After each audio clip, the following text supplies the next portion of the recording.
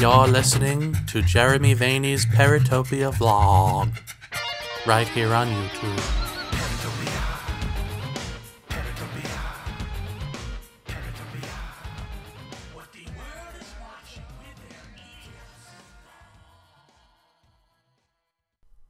Paratopia. It's Jeremy Vaeni. Um, someone on our message board had asked, "Why is ufology uh, a boys' club?" And I said, "Well, maybe I'll do a vlog about it." Um, and then I saw Susan Kornacki had asked sort of a similar question or the same question in a different way uh, on Facebook. So I thought, hmm, maybe now's the time to address this or my thoughts on it.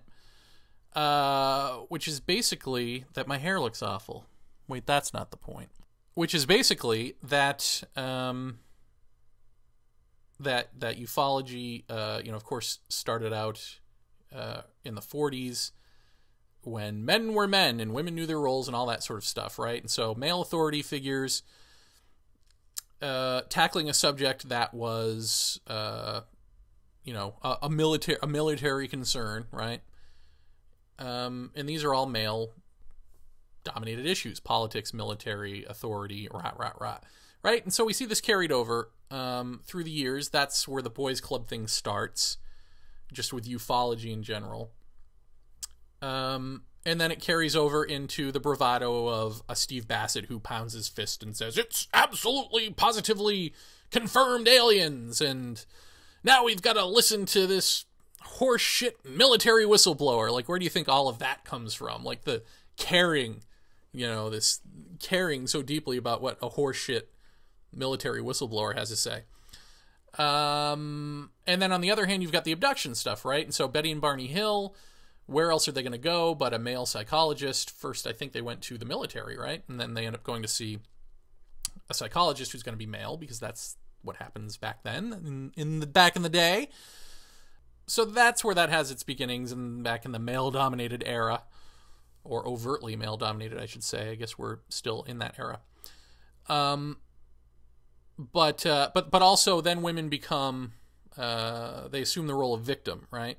So you've got the male researcher who's out in front, you know, uh, with great certainty and, and perhaps pompousness, depending on the researcher, but definitely certainty that this is what's happening to this person, and isn't it awful, and blah blah blah. And then the woman sits back in the shadows and says, "Yeah, this is happening to me. Uh, I don't know. I'm so confused."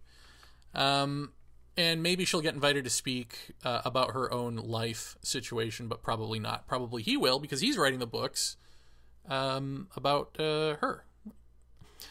But then when these women speak out, like say in Emma Woods, right? Then we don't like that. We don't like it when they're strong because then it's the misogynistic. Oh, she must have been in love with him. Oh, oh, you know, women are hysterical woman. You know, she's crazy. She's hysterical. All this sort of stuff. Or Carol Rainey speaking out about about Budd Hopkins, which has mainly garnered her uh, positive feedback. But you know, every now and then you'll see something about a woman scorned. You know, this is oh, this is the you got to take it with a grain of salt. This is the ex-wife speaking. It's like you know, forget the facts. Let's not deal with the facts. Let's just deal with. Let's make it this issue. Um, so you know, we do uh, we do see that still carrying over today, and I wonder. Um, I've never spoken to Linda Moulton Howe. Um, I've spoken to Paola Harris, and whatever you think about them as researchers or, or what have you, reporters, um, um, I don't. Again, I don't know about Linda Moulton Howe, but Paola Harris seemed to just constantly recite her resume, and I hear that Linda Moulton Howe has a chip um, and that she's very territorial and all of this. And, and and I'm not saying this to spite either of them, even though I don't like Paul Harris and I don't know Linda Moulton Howe. But I'm putting all that aside. I'm just saying it would make sense to me that the reason that they, if the, if that's true of Linda Moulton Howe, uh, and it is true of Paul Harris, that the reason is it's a male-dominated thing that they grew up in. You know, trying to break into and securing their name in uh, and and not have their cases stolen by uh, male researchers and all of that. You know, that's what it takes to survive in a boys' club. And I would love to have that conversation actually with Linda Moulton Howe. Um, not so much Paola Harris because she's a dope, but Linda Moulton Howe seems uh, actually intelligent. So I would lo- I'd love to have that conversation with her sometime. Um, what is it like to survive in a boys' club? Um,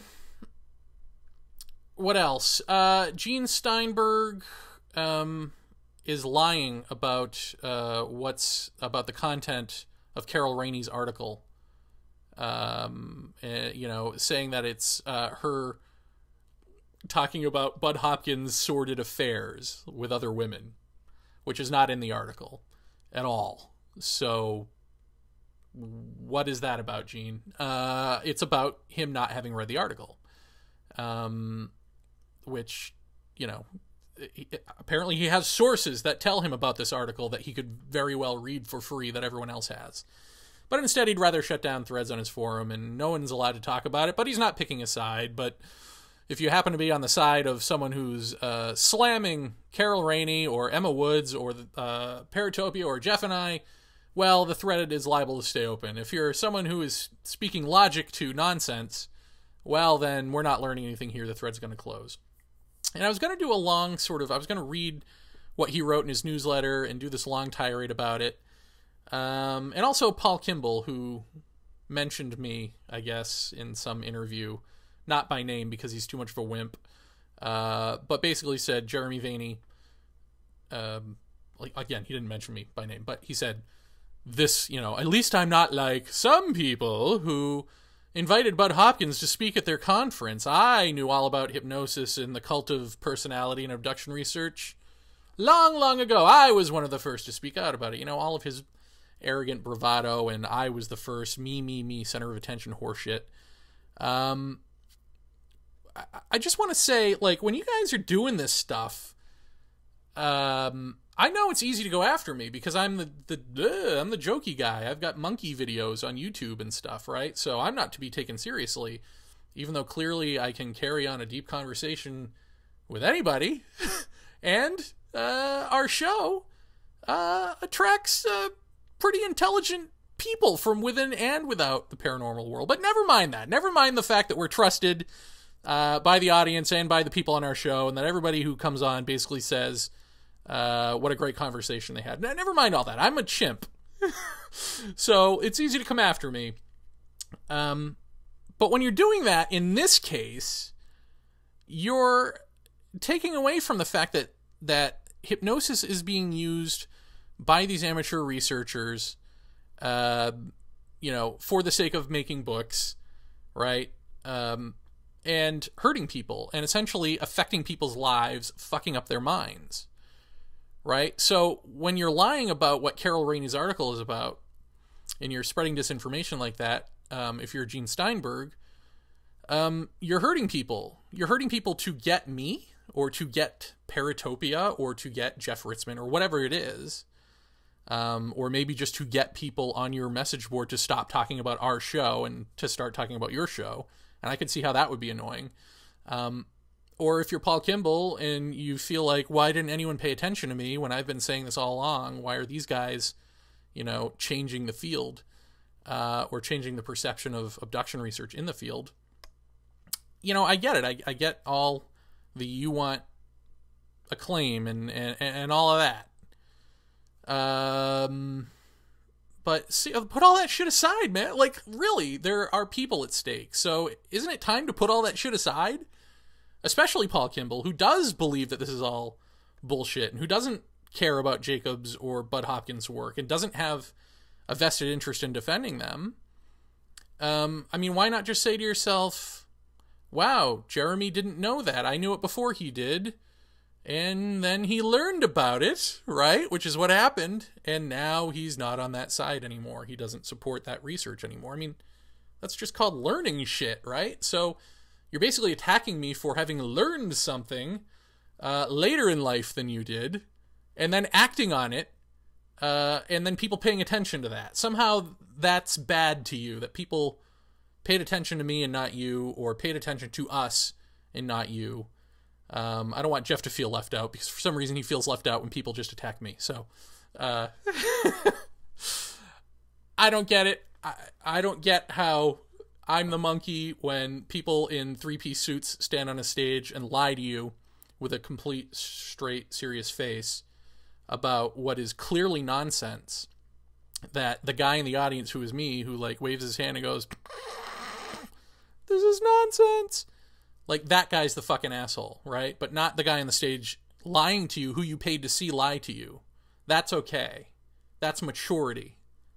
Really uh so uh, but beyond that i mean that's my little tangential issue but beyond that again let's bring it back to that humans life human life is at stake here. I mean it's nothing less than that really because the hoaxing stuff is one thing, but when you get into like implanting multiple personality disorder suggestions in someone's mind to ward off evil aliens, um, et cetera, et cetera, or even just using hypnosis wrongly, you know, using it poorly, co-creating a scenario because um, the client brings their expectations about you, the famous researcher, with them, and together you co-create this horseshit reality of you know, malevolent alien doctors diddling.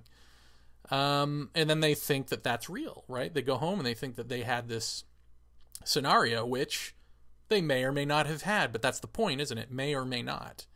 Um, and Paul Kimball gets that. And so if he's been speaking about that forever, shouldn't he be glad that I'm speaking about it too? Shouldn't we be on the same page and on the same team on this one?